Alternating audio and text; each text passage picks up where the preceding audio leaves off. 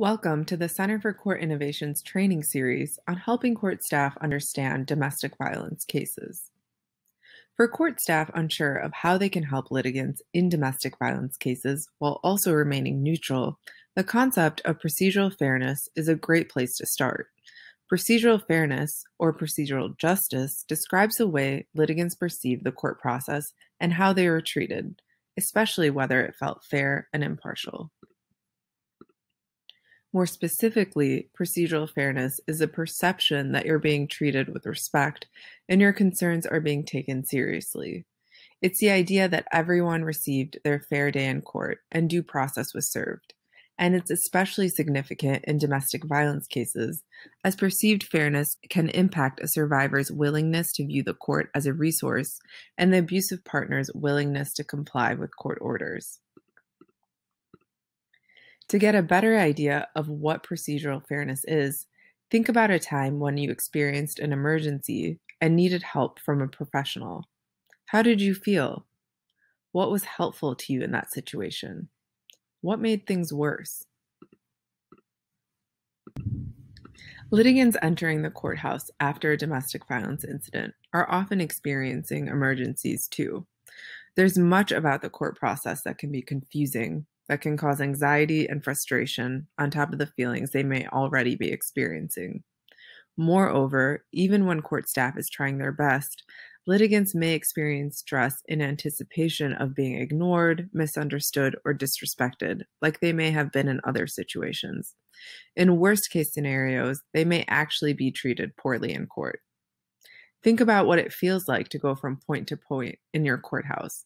Does your court culture enhance the litigant's experience or exacerbate trauma? Procedural fairness tries to enhance the court process for litigants by emphasizing four key principles voice, respect, neutrality, and understanding. Voice means litigants feel they had an opportunity to be heard and present their side of the story. Respect involves litigants feeling like they're treated with respect and dignity by judges, attorneys, and court staff. Neutrality is when litigants perceive that the decision making process is unbiased and trustworthy. An understanding refers to litigants understanding their rights and the court process and what's expected of them in order to comply with court orders. Sometimes procedural fairness also includes helpfulness, which means the litigants feel that the court staff have a genuine interest in their needs and want to help. Research shows that litigants are more likely to accept what happens in court if these principles are in place. In fact, the court experience may be more influential on a litigant's view of what happened that day than the actual outcome of a case. While, of course, individuals do prefer to have a favorable outcome in court and win, having a fair outcome is also important. People can generally accept losing if they feel they were being treated fairly, which shows that people value the fairness of the process that led to whichever outcome ends up happening. So, why should you care?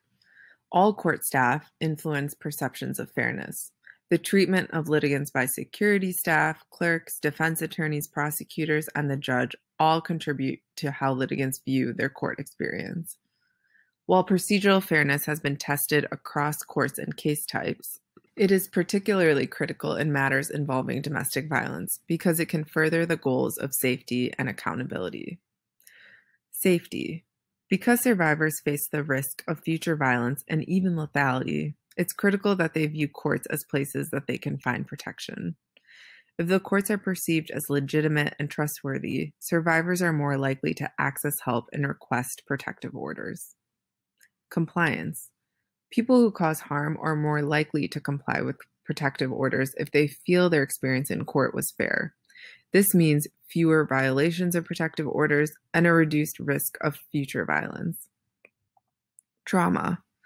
The court experience can cause anxiety for anyone, especially survivors of domestic violence, who may be interacting with several justice system actors.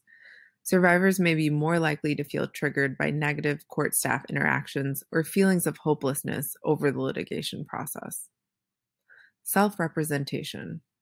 Many domestic violence litigants are self represented and lack information about the court process, how to present their case, or what information is admissible. It's not uncommon for self represented litigants to leave court without understanding how to access resources to ensure their safety or what's expected of them to ensure they're complying with an order. Procedural fairness helps to provide an equitable and safe forum for litigants to resolve their dispute.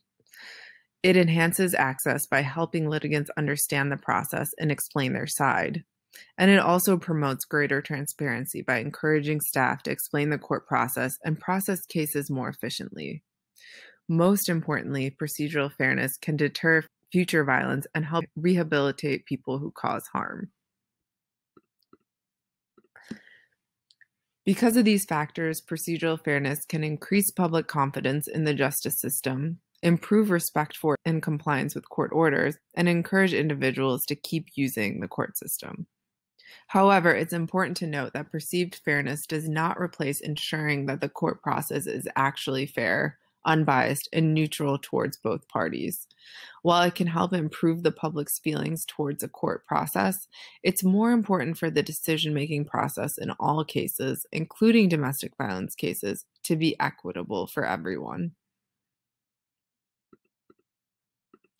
So, what can you do to implement procedural fairness in your practice? Reflect on how litigants experience the court process. How do they feel while navigating the courthouse? Are they shown respect by all the court staff? Can they express their thoughts and feelings in their own voice? Is the court staff neutral? Does anyone ensure litigants understand what's going on? Is there anything that could be handled differently? What are some basic ways to be procedurally fair? Making eye contact with litigants. Keep in mind that due to cultural norms, trauma, and other reasons, some litigants may be uncomfortable making eye contact back. Use plain language and explain any potentially confusing legal terms. Provide translated documents and an interpreter. If a litigant does not seem to fully understand what you're communicating, be sure to ask if they're more comfortable using a different language. Ask clarifying questions so the litigant can fully say everything they need to explain. And at the end of each day, or periodically throughout the day, reflect on your interactions with litigants and whether there were any moments that showed bias. Finally, linking litigants to any appropriate or relevant services demonstrate that the court's willing to help and some more concrete strategies to consider. Train all court staff on procedural fairness and domestic violence, as well as related topics like trauma informed and culturally responsive practices. Trainings should be attended by as many court staff and judges as possible to improve the overall case process and courthouse culture. Domestic violence survivors are more likely to use the court if it feels safe and accessible. Creating guides, tip sheets, brochures, and even videos for litigants will help them feel more comfortable with the court process. The court should also consider conducting an audit to learn of any other accessibility and safety issues in the courthouse, like signage and waiting areas. And by reaching out to and regularly collaborating with community partners like domestic violence agencies and abusive partner intervention program staff, Courts can learn about any issues litigants frequently encounter in court and the best ways to share information. To learn more about this topic and for any further training questions, contact us at dvinfo at courtinnovation.org.